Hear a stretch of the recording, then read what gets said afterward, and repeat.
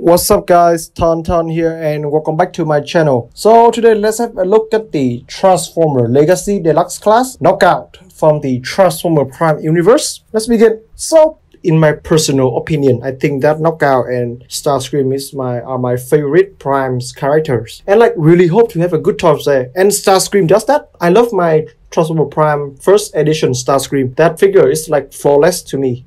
But Knockout sadly didn't get the same treatment the Prime's knockout is full of flaws and problems. And then they stopped making anything about Primes. And so I got to have a substitute, which is my red knockout, which is uh, like a perfect figures, a perfect action figures, not a transformer toys, because that figure sadly cannot transform. So I really have my hopes up when they announced that they're gonna, gonna make a knockout again. But when I got this guy, to be honest, I am disappointed when I look at the promo image, I thought, okay, uh, this is guy is a little bit bulky, and then I skip. But today, when I handling him on hand, he is a remold of the Studio Series 86 Jazz, and that is a little bit sad because these two characters does not share anything at all, except to be both like sports cars, but like all the Transformer are. So yeah.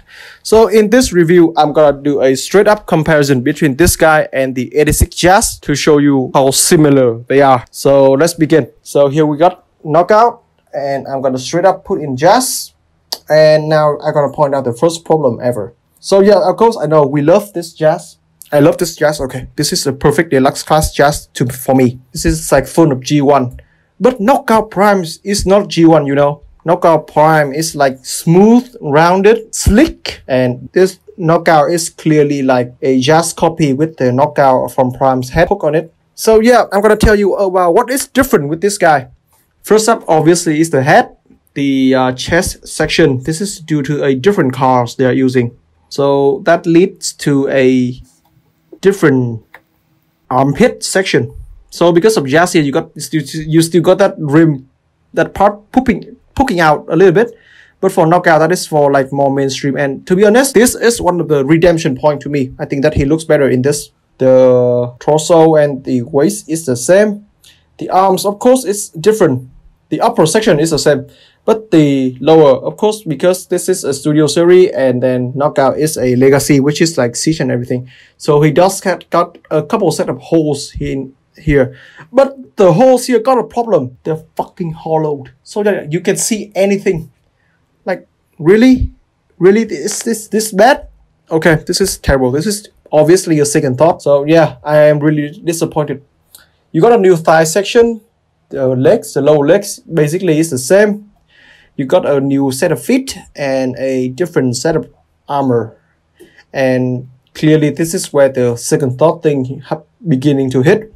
Because for Jazz, it's like fit in like a really nice leg armor. But for Knockout, just look at the part that is like poking out. It's just terrible. So then one more thing that I can compliment Knockout on is that the backpack, you know, same gimmick, but then knockout different car. So in as a result, the knockout one does feel better. It's like slicker. So yeah, that is probably a good thing about this guy.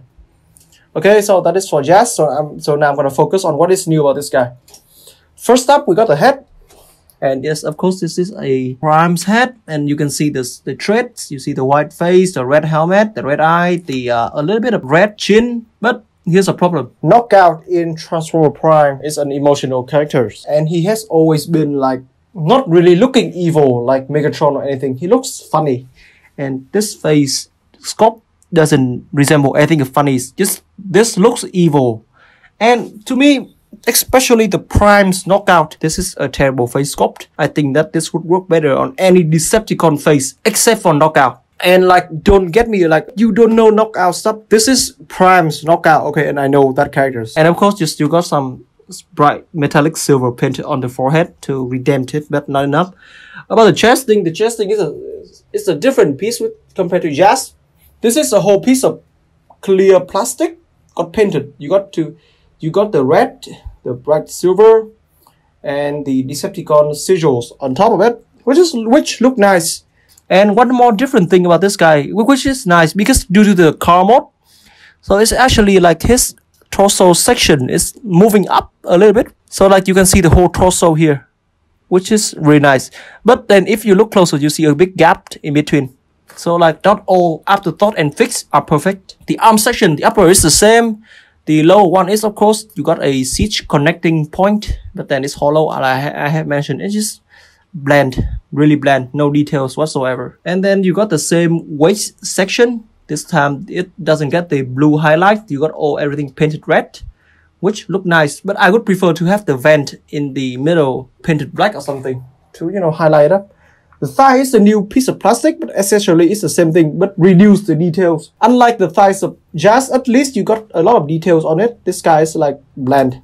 The leg is the same, the part that got painted silver now got painted red. The armor section is actually pretty interesting. You actually got two types of red here, but this whole color scheme section should be better in the car mode, so I want to tell you in the car. So now you got the feet, which is a new piece, and then that should be it. The backpack, yeah, I have mentioned it's better because of the design.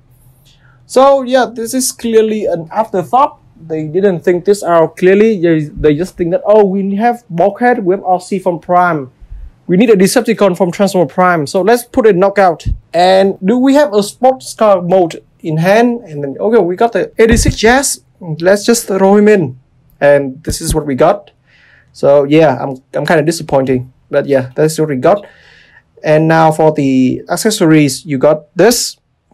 And this clearly resembles the electric spear that he used in Transformer Prime. So that is pretty cool. And for this time, we don't get a clear purple but then we got this clear black plastic and then painted on a metallic blue on it. I mean, this try to resemble the electric staff of him. So to equip it, you can just gonna put it here and it looks really dumb. It doesn't look like an electric staff whatsoever. But then you can detach it and then I think this is also a gun. So you can put this like this, plug it in. Now, now he's holding a gun and you can this here. So like he got some like arm blade or some, or some or something, which I mean looks kind of cool, but I don't really care. Weapon storage wise, you can like this is a legacy figure, so you can like store the weapon anywhere you like. And of course, he's, he's still got the same old holes as Jazz, so as Jazz. So yeah, plug it on here. The plug it in the back. It should be good. So now for the action and articulation wise, this is this is the same as Jazz. So here we go head look up a little bit and that's it. Rotation. Arms move out. Rotation.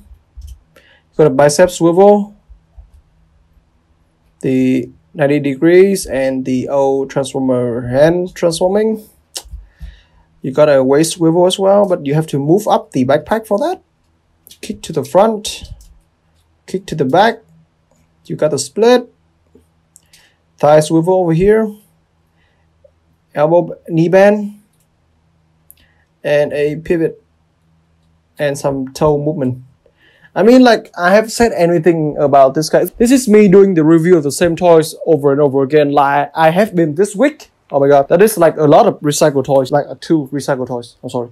But then you got the point. This is the exact same as Jazz, a little bit worse because he's not an original character of this mode. So yeah, quite disappointing. So let's see if he holds up in his in his alternate mode. Let's go.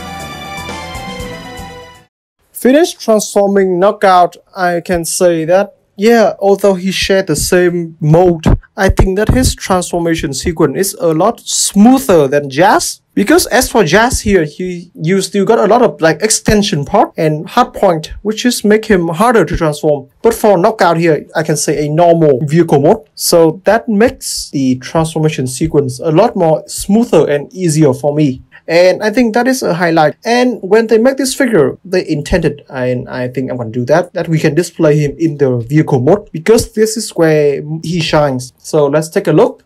Of course, you know about the front section, but now take, take it to the side. The first thing I want to mention is the two wheels. They got painted in a like a gold gold neon colors, which is like really popped out.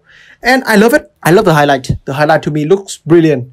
And it leads to the next highlight of this figure, which is the stripe, the, the flame stripe. It started at the front section of the car as bright silver and then faded into like metallic red and then full out metallic red into the bottom of the car. To me, this is brilliant. This is highlight right, right here. And if I can, I'm gonna try my best to preserve this and to show this kind of details because you know in the robot mode, these doors here, they do get put on flat and put on the back. Thus, you don't see any of this flame here. But and just look at this vehicle mode and I think he looks a lot more better than the robot mode. And then of course, this is a legacy figure, so you can store the weapons, plug it onto here, uh, or here. And take that, you got some guns and you can plug it here. So that should be it. So I'm gonna compare him to Jazz.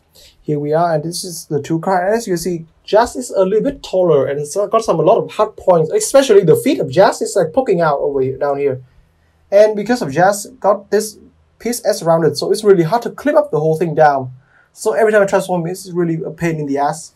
And then it's hard for the head as well. But for here, for knockout situation, this is flat, so it's like a lot more, a lot whole lot easier than, and I, and I love it. I absolutely enjoy this. So should you get this figure? I mean, if you are a hardcore Primes fan and you really want to spend your money, then go get him. Otherwise, I would not recommend him because I don't like the thought of having my favorite characters put on some other molds that does not belongs to him. To me, that is like really bad and I don't enjoy it. So it's up to you. So tell me what you think of this knockout. Should you get this or you're gonna stay with your deluxe or you're gonna get the red? Tell me. And that should be it for today guys. Ta-ta now. Thank you.